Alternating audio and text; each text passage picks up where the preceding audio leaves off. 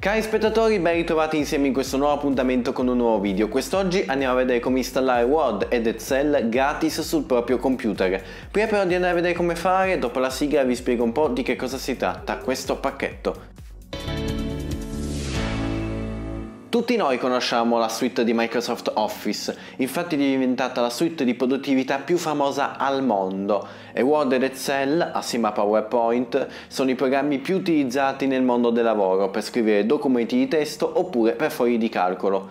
Il problema principale di Office è che la sua licenza è molto costosa, soprattutto se dobbiamo utilizzarla in casa e non abbiamo la disponibilità economica per poter utilizzare i suoi programmi. Ci sono ovviamente delle alternative, c'è chi ad esempio utilizza le versioni libere open search come LibreOffice che è la più famosa, ma anche OpenOffice che però hanno il problema che non sono pienamente compatibili con i documenti realizzati con Microsoft Office, quindi ci sarebbe un problema di compatibilità dietro. Oppure c'è chi non vuole utilizzare tutti i programmi di Office, quindi si limita soltanto a Word oppure ad Excel Oppure c'è chi vuole soltanto visualizzarli, un tempo c'erano i visualizzatori di Office che permettevano di leggere e di stampare i documenti ma non di modificarli. Un'altra alternativa che vedremo in questo video si tratta di Office Starter 2010. Questa era una versione speciale della suite di Office che veniva preinstallata con Windows 7 dai produttori di computer, di allora ovviamente,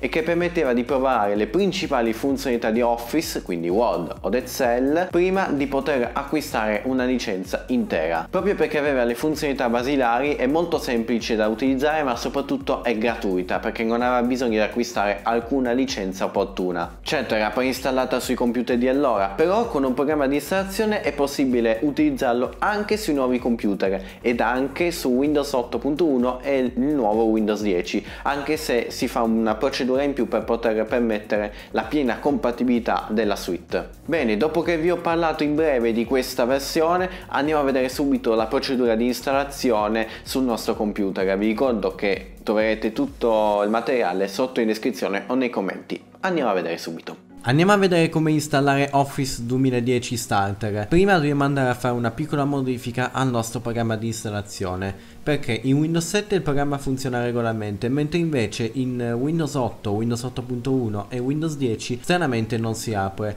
nonostante la versione normale quindi il normale pacchetto di Office 2010 si apre senza alcun problema. Per prima cosa dobbiamo andare ad aprire con il tasto destro del mouse il programma e selezionare proprietà, selezionare la scheda compatibilità compatibilità, selezionare modifiche e impostazioni per tutti gli utenti e mettere la spunta su esegui il programma in modalità compatibilità per Windows 7. Confermiamo, con il tasto destro del mouse eseguiamo come amministratore il nostro programma, consentiamo l'apertura e attendiamo che venga installato all'interno del nostro sistema.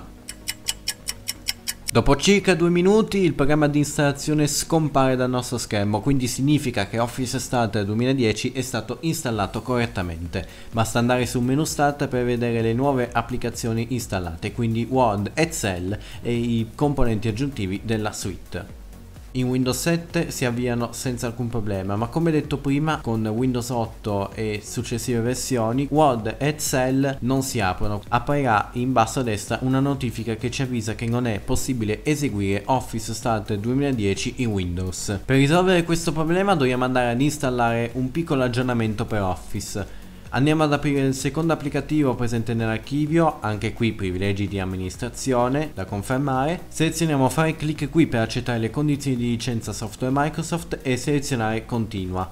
Ora dobbiamo attendere che l'aggiornamento venga installato e al termine, come da sua richiesta, riavviamo il nostro computer. Rieccoci dopo il riavvio del sistema per andare a scoprire Word ed Excel Starter 2010 per cui andiamo ad aprire uno dei due applicativi, nel mio caso Word, apparirà la schermata di avvio che è leggermente diversa, ci chiederà il nome, cognome e le iniziali. Ed ecco qua che apparirà finalmente il nostro programma pronto per l'utilizzo. Ci chiederà di accettare le condizioni di licenza, quindi il contratto, selezioniamo accetta e poco dopo apparirà anche una schermata per installare gli aggiornamenti importanti consigliati oppure non effettuare gli aggiornamenti. Anche se tanto questa versione di Office eh, sta per volgere alla fine del suo supporto, per cui non cambia molto. Inoltre possiamo scegliere quale tipo di file predefinito vogliamo utilizzare per i file open search. Vi consiglio l'Open Document perché è pienamente funzionante anche con software come OpenOffice, LibreOffice e simili. La nostra schermata di Word Starter. Non cambia molto dalla versione originale, tranne che per qualche scheda in meno in alto quindi nella nostra interfaccia ribbon dove abbiamo solo le schede di home, inserisci, layout di pagina e le lettere, quindi le funzioni più importanti per chi lavora molto con i documenti, mentre alla nostra destra troveremo un box con eh, alcuni suggerimenti e un annuncio pubblicitario che possiamo togliere tramite un plugin disponibile in anche aprendo la scheda file, ovvero il nostro centro risorse, abbiamo anche qui le funzioni principali, quindi le informazioni sul documento, i file recenti, un nuovo file da aprire anche tra i modelli disponibili, le impostazioni di stampa, salva invia file e poi la guida con le informazioni di Office. Noteremo alcune funzioni in più come l'Office Mobile che scopriremo in breve tra poco, mentre adesso troveremo pulsante per acquistare la versione completa di Office. Tra le funzioni che appunto mancano in questa versione di Word ci sono le note a piedi pagina e bibliografia, i sommari preformattati e le revisioni e i commenti, oltre ovviamente alla mancanza di PowerPoint e Outlook. E anche nelle opzioni ci sono le impostazioni principali della suite, quindi le più importanti da utilizzare sul nostro sistema. Dopo aver visto Word andiamo ad aprire anche Excel, quindi andiamo ad aprire Excel Starter 2010. Anche qui rispetto alla versione completa non cambia di molto abbiamo sempre le schede home, inserisci layout di pagina e in questo caso formule e troveremo comunque le funzioni principali di Excel, quindi l'aggiunta di dati, di grafici e di formattazioni. Anche qui le stesse impostazioni come ci sono su Word, quindi sempre pulsante acquiste, sempre la barra a destra pubblicitaria, quindi anche qui le funzioni più importanti di Excel per l'utilizzo Oltre a Word ed Excel, Office Starter 2010 offre anche alcune funzioni aggiuntive, come Picture Manager, il programma per modificare le immagini però ferma la versione 2003, e inoltre Microsoft Office sempre a portata di click, che è il nome italiano di Microsoft Office Starter to Good Device.